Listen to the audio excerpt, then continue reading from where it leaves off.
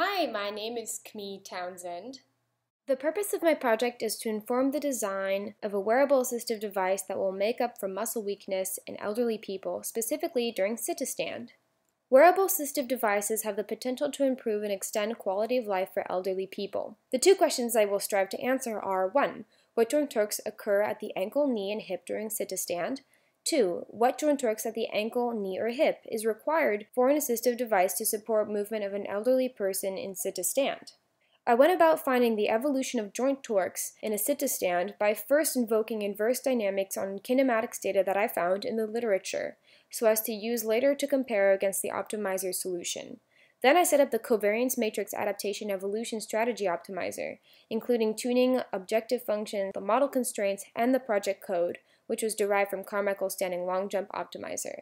Finally, I extracted the joint torques from the optimized solution. In the literature, I found 20 data points over 2 seconds of a sit-to-stand for each of the angles defined in the top right figure. Using the angle definitions, I crunched the numbers into OpenSim where I used the inverse dynamics tool to extract the baseline joint torques for later comparison. While this data is an important starting point, using this method alone cannot predict how an exosuit may affect kinematics. On the other hand, Optimization can help us do this. This is the optimization workflow that I inherited from Carmichael. Each of the yellow boxes is a tool or a process that I used on a file denoted as unboxed. Observing the discrepancies between the animation and the code is where I spend most of my time troubleshooting. This slide is intended as a reminder of what type of optimizer that was used, a covariance matrix adaptation evolution strategy. My work dealt with model parameters and constraints, as well as the objective function. It's important to note that to start, the Ashby model is constrained at the heel and toe such that the foot does not move throughout the simulation, and that the Ashby model has muscle-like coordinate actuators at the ankle, knee, hip, shoulder, and elbow. Finally, there's no particularly easy way to terminate this particular simulation since it would be based on the model's final state, which in our case, that's the state of standing, which is complicated to define, and so instead I hard-coded a 0.5 seconds of simulation time into the program. I define the objective function with the first term to define the standing position. The alignment error minimizes the mean squared error of the horizontal difference between the position of the joint and the position of the heel, so that the heel, knee, hip, and shoulder joints will be vertically aligned. However, with just this definition for the final standing state, the optimizer found a particular local minimum solution shown here. In order to avoid this minimum, I included another parameter to define the final standing state, which was a minimum height turn.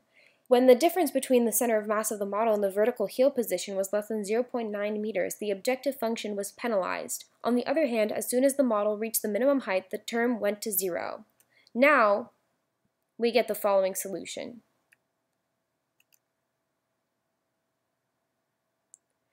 This still doesn't look quite right because the model is not realistic. It lacks a seat, so it stands up as though it were solving a balancing problem. Therefore, I added a C constraint as well as a C constraint release event handler that is triggered when the vertical forces at the hip reach zero.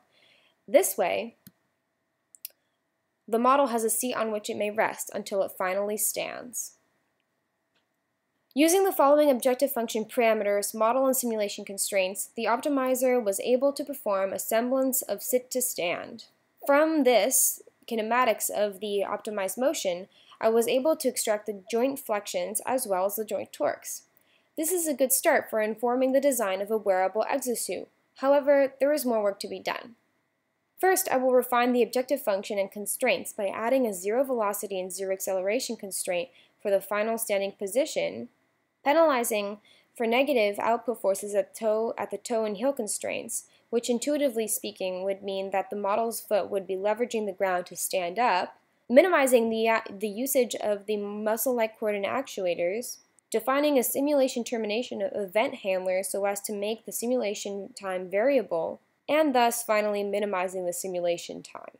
Second, I will make a weakened model relearn sit-to-stand with and without the exosuit added, which would be modeled as an active controls on top of the original muscle-like coordinate actuators. Finally, I will extract the joint torques from these optimized motions from the elderly model and, for validation, compare them against the healthy model sit-to-stand joint torques as well as the joint torques previously derived from the experimentally gathered kinematics data. Thank you to Carmichael, Calvin, the teaching team, all of the neuromuscular biomechanics lab, as well as the class.